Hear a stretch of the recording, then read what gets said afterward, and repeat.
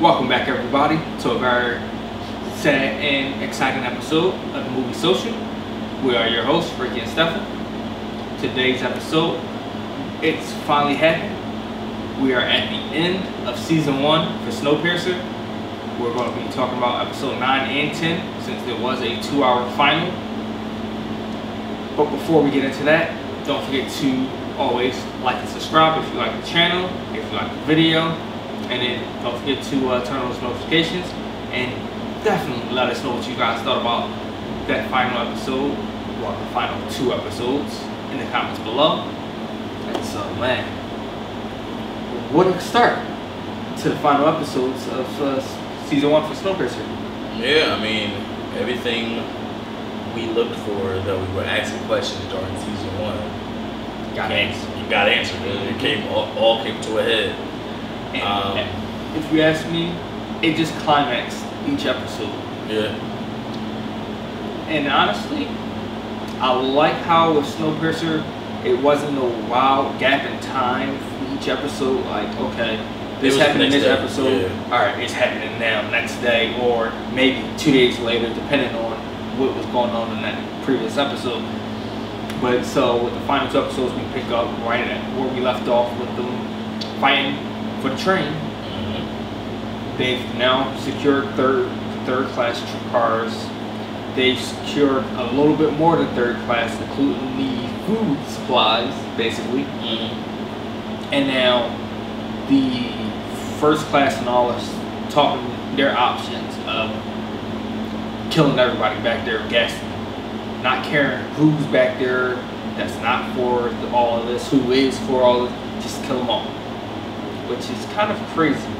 And you see, I see, you can even see some people in first class was looking like, yeah, yeah. Um, I mean, you had the you had you had the person, you had the guy who was basically remember he snitched about some renovations a, a couple episodes ago. yeah, oh, he was all for getting them out of He here. pulled, he, he, he, he slid in a burner. Like, what's going on? They always, you know, You slid, you gonna slide this the school teacher the burner? Like, what's going on? they always in on it. So, Uh, they, they, they, all right. So we stuck a little bit ahead of ourselves for one moment with that one. So, all right, we get to the point where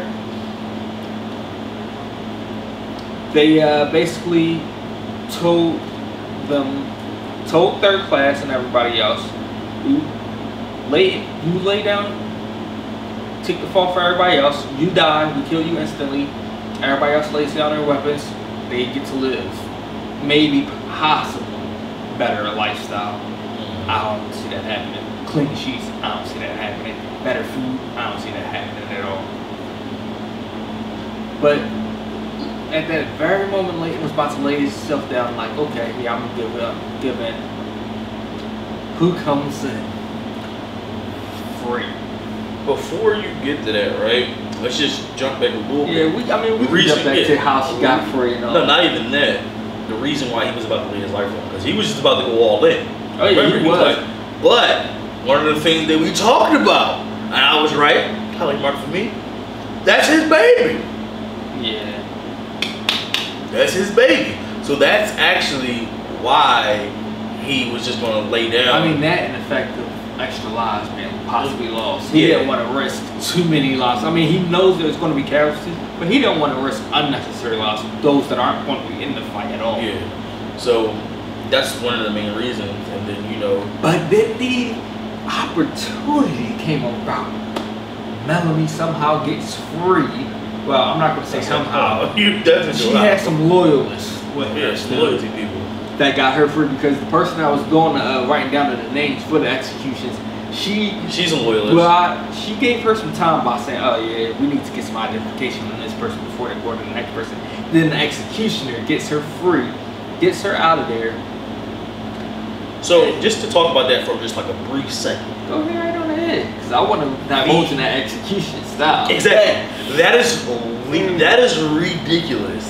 They make you breathe in the cold air. It's called what? Frozen lung or something Yep, like frozen lungs. that? That's by frozen lungs. They make you breathe in the air from the outside. You think smoking is bad? Smoking don't kill you in. this fast. I mean, jeez. You breathe in the uh, 130 something degrees negative Celsius. All you see is the whole face go white and then the eyes. Yeah, that's that's that's. I mean, it's Ah. quick. Take take I'm my not gonna arm. say it's not pain, painful. Take my arm. It's it's quick though. Nah, but you you know that's gotta be extremely painful. Yeah, it definitely has to be painful. Cause basically you're breathing in basically like just about ice shards essentially. It's- Yeah, it's wild. But yeah, that, that was wild. So now we can go ahead and get back to her Yeah, showing so- up. Yeah, Melanie tries to escape. Everywhere she turns though there's guards, so she tries to go under the train. Guards under there. But uh yeah, you got guards one way, then you go this way. What do you run into? The resistance. Mhm. Now, luckily, the resistance is nice enough not to just kill you on sight like the guards probably would have done to Melanie. Mm-hmm. She escaped through the vent. Yep. I mean, it's a good thing she knew the train in and out, or Yeah. else, uh, yeah, she'd have been caught. Like Exactly. But then she gets, they take her to Layton. Layton is like, okay, um, he kind of wants to kill her too. But she has one thing that up her sleeve left. One last card. I'll help you get the train. I'll get you the engine. You know they don't really fully believe her, but then she still says she'll lay, lay it down.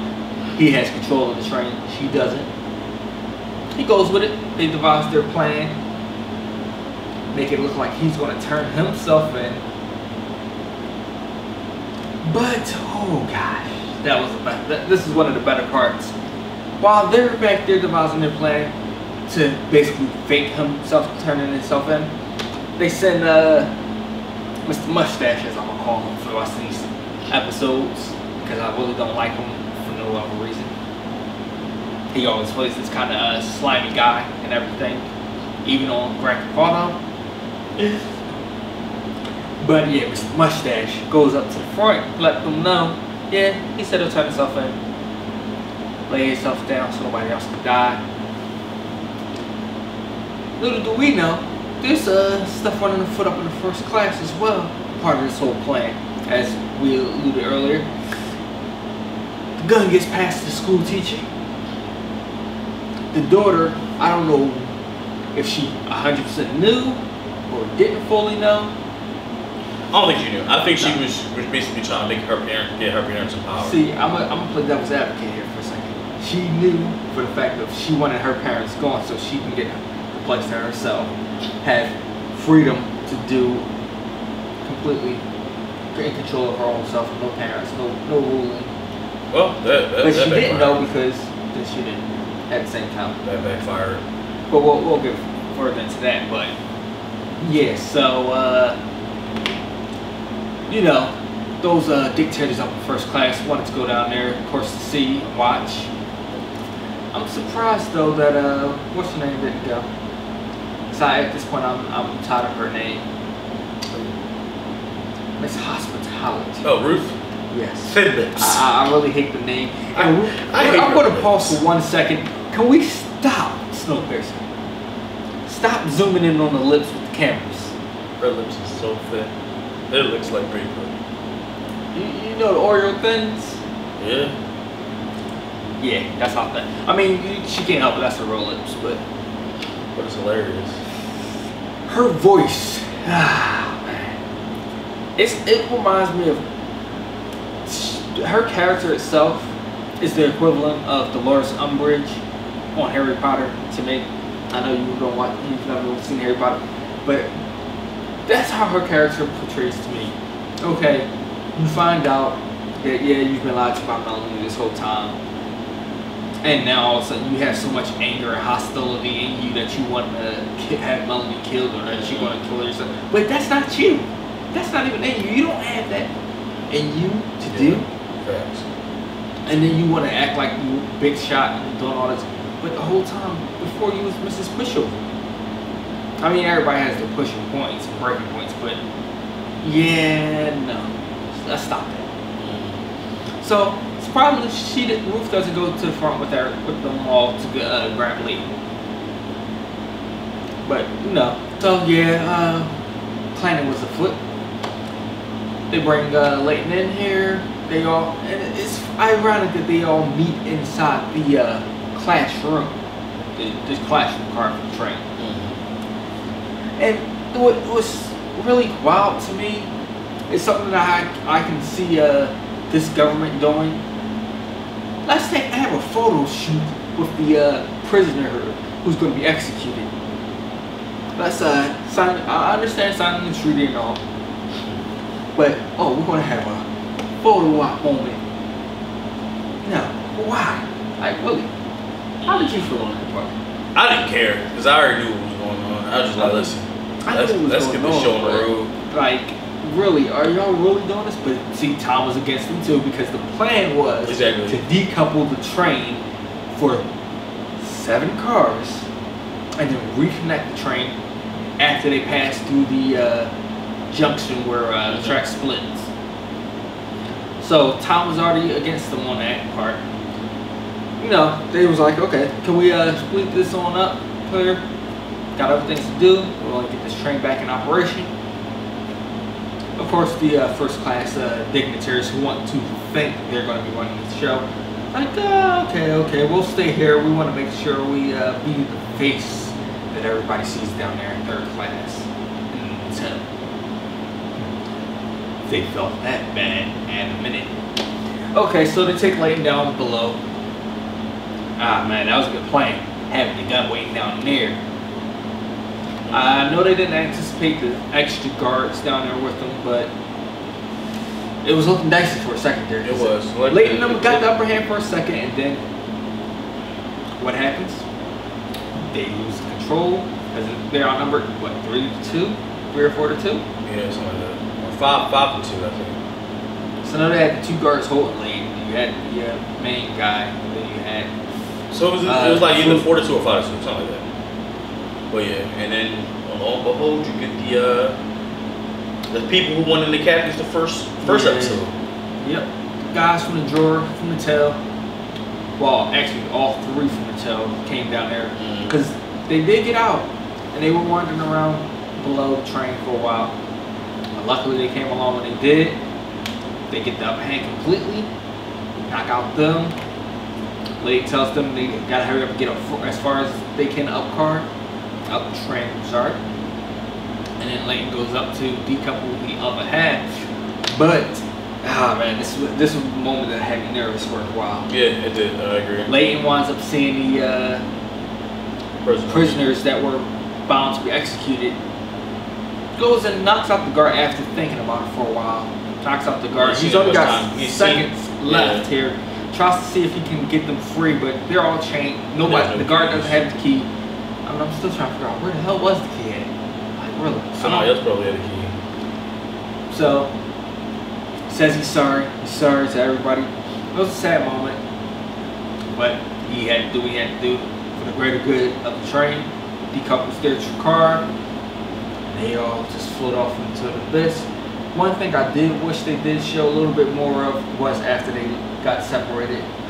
Oh, what happened to the car? Yeah, like I really would have liked to see Like, did it as derail? freeze, did it derail, any of that. Makes sense. they eventually reattached the cars and then basically that's just about the end of that episode Mhm. of episode 9 and then we head into whew, the whopper of the episodes episode 10 Yeah, so episode 10 was pretty deep. It wasn't action packed, it was more laying down the fruits and the seeds of season 2 for sure. yeah i mean the end had a little bit of action Yeah, a little bit of th- thrilling moments. So two, so episode 10, you know, they're trying to basically start their democracy. Um, you know, and Whew. little council and stuff like that. I mean, you Um, know, reminiscent of uh, us as black folks trying to get uh, the rights and justice that we deserve in the United States here with uh, Tell and third class. Yeah, it, Man, it, it was and just you know, just getting get, getting like your fair equal share just about any part of history think about. it. Yeah. So they go ahead, you know, it basically like this was a lot, a lot of dialogue. So then the guy in the engineer room, he see he, Yeah, he, he sees something. He he had me thinking for a while. that he was working for him for a 2nd Mhm. Yeah. So he sees uh, a blip on, on the uh, on the screen there, and he's not sure exactly what. He knows exactly what it is. So he basically like kills the feed. Knocks out the satellite while Uh, the other guys hearing the music. Yeah, hearing the music which well, yeah, that's down car or something. No, no, no. This is different. Mhm. So- That's the way he was acting. So, in the meanwhile, um, I forget her name. Ruth Bellamy. Melanie. Yeah. Melanie visits the. Uh, I don't even know what kind of room to call it. Oh, you talking The about let go uh, room. The uh, room in third class. Yeah, we're just gonna call it the let go room because you feel you feel the sorrow name of the actual and hall. all that other stuff. I know there's an actual name for it, but she and she's like she feels bad about what happened with her daughter and all that process. Um, so she goes back up car. They tell her about what's going on. She says, "Let's talk to Layton." Layton says if there's a survivor, so let's slow down. So they start the whole But you, process. but you know, uh, he didn't want Layton involved at all. He No, didn't want yeah. it to be known. And mind you all, with all this happening, there had to go into Chicago, which will create, complete another revolution around the world. The market is year seven, I believe, Yep. that they've been traveling on this train. So it was a big moment for everybody too at this point. hmm So as that occurs, you know, you still have the people who are uh, iffy, like you know, Like call it speed to speed. She don't think that this whole revolution, this whole democracy thing is going to work. I don't know. She doesn't even like the tone. Let's be Yeah. honest. She doesn't like the She thinks she's uh, above them and all that stuff. So I no think matter she's what. first class, but she's So- not first class. So after you know after the whole you know debacle, they see the car like they see it. They see that that joint got a W on it. Wilford Industries. And they like, whoa, whoa, what's going on in the roof? Uh, she she comes in her panties. I'm gonna say it like that. I'm sorry, Judge. She comes in her panties. Oh my God, Mr. Wilford! Yo, she act like he's the savior. Yeah. Like she acts like he's Jesus God, Christ, yeah. the Holy Grail, everything. Like, Yeah. yo, it's just another human being. He's here to save us. So essentially, what happens is that car that they have is a prototype that they had, a supply area, Supply car. supply cars, and it has 40 cars. yeah. and but he's trying. He was listen. He's trying to get on there. He's like, listen, let me take back my train. And uh, during this process, they like, listen, we gotta get this. Oh yeah, get him off of here. Well, but Well, they what that, they trying to They try to Outrun. they try to outrun him because first of all, there's a section where it, the tracks are going to join. yeah, they want to first beat him to it so that way he can't derail them, anything like that. And they want to get ahead of him. get ahead of him, but they get ahead, but not by much. He can, I, and I'm trying to try to figure out what's in this other car that he was able to speed up and catch up to them because not only they had that, a car's length ahead of him, and then he caught up, and then that thing just went into a transformer mode. Not that. That is what blew my mind. The front of the train. and it hooks onto the back transformed of the like a, uh, it looked like something like a hand, like get your ass over here, and latched onto it so it wouldn't like pull away, which was dope. Then what I was wondering at this point, at this very moment, when it latched on, why didn't they just grab everybody from the tail and detach that car, that one car? Because then you can't latch back on to it because that one car is gone. Sure, they could have that. But I, I don't know, for whatever reason, I don't know what if there's something in the tail that they personally needed to get or what what not. But I know a few moments later, they start hacking. Wilford's car starts hacking into the uh, train, Yeah, to, to slow it down, to actually Yeah. slow it down. and I mean also taking control. Yeah, over take control of everything. So I don't know. Once he started hacking in, they lost the ability to be able to do that to decouple the train. That's probably exactly what it was. car. But and we start seeing everybody getting all anxious and excited, some happy to see what's going on, some Well, you not. have Melanie at the top trying to still detach everything. Yeah, she climbs up into the suit and goes above the train. But before she does that, her little boyfriend in the engine room finally admits that he knew what was going on beforehand. Mm-hmm. All right, so yeah, he detaches his uh, oxygen mask and then uh, She goes solo dolo. Yep, on top. Now she attaches herself to the top, because they got a little joint that they can, move from car to car. But she, once she gets her balance, she, she's like, ah, this. Yeah, Unattached she herself. attaches herself. And I'm like, mm, mm, okay. Why? Why did you do that? Foreshadowing, by the way. Yes, very foreshadowing. And she starts trying to run. She falls. She gets back But she up. gets back up. then she runs and jumps the, to the next car and almost falls all the way off the train. Yeah, but what happened was, what made she actually it does end up falling because Once they, the train comes to yeah, they, they, stop. they, they uh, Mr. Wilford's train, supply car train, uh, like, forces it to shuts the brakes, like it activates the brakes so it can just stop. And at this point, I thought she died, Wilford's I'm car comes all the way through. Well, because they're using the torch to cut through the back of the tail to uh, open up that hatch. Because I'm guessing it was frozen solid from the outside. Yeah.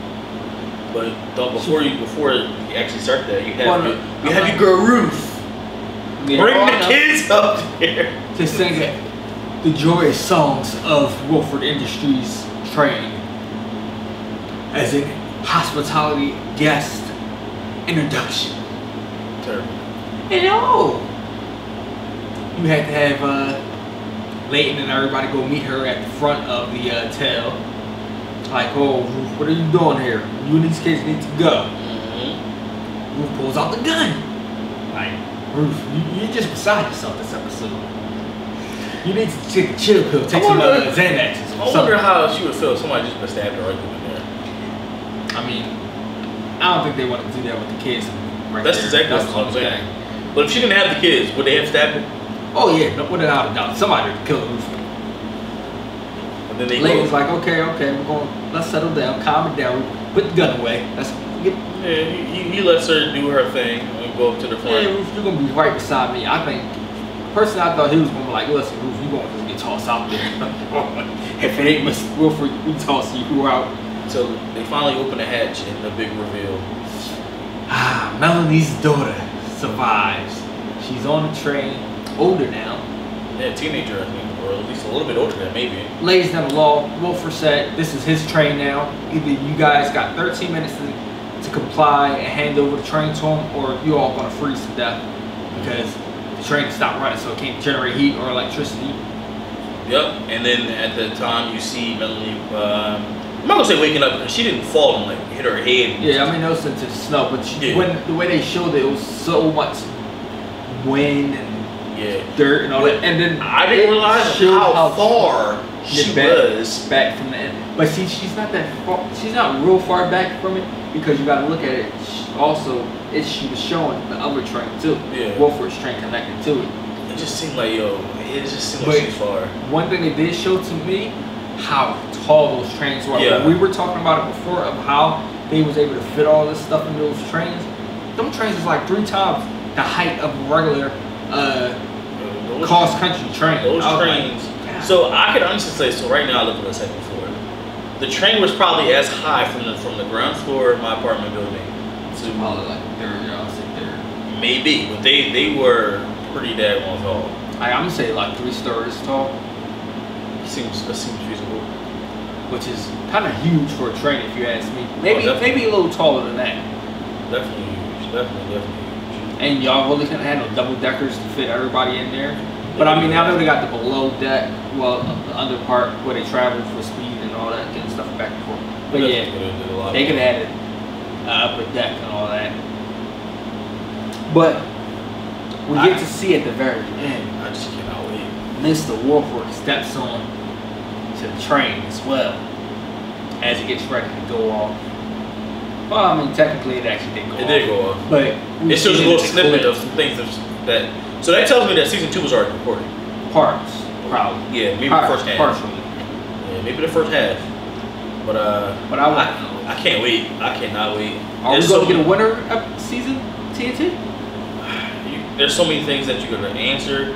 Like I thought Wilford was dead. Apparently he's not dead. Yeah, I thought Wilford was dead. I thought her daughter was dead. Exactly. I thought a lot of people. Why But they I gonna take wanna over the train? Who's all on this new train? That's another question. And looking at the clips from the trailer, you can see Layton is locked up Yep. again. So I'm like, dang, back to where he started. You you can see Melanie might survive this. Mm-hmm. You see a lot of things happening. You still see more fighting and riding, getting ready to prepare. Because the way it looks to me, the tail is back in the tail again. Mm-hmm. It's literally going to be the people who side with Melanie and um, Lathan versus Ruth, Mr. Wilford, and all the people he probably got on that other train. But I'm gonna say this: I really don't think Ruth is gonna last too much longer in season two. I honestly thought Melanie was about to go at the end of this one. I was about to be like, no, my predictions is wrong. Melanie does not survive season one. But she survived, thank God. All in all, man! Great series, uh, uh, season, great season. Uh, I clap it up for you. I but can't uh, wait for season two. I definitely can't wait for season two. Whenever we get the news that that's dropping, um, we might do a reaction video of the trailer. Uh, watching the trailer, might do something like that. But um, yeah, um, I can't wait. I'm excited. Great, great, great things coming for that. Uh, show.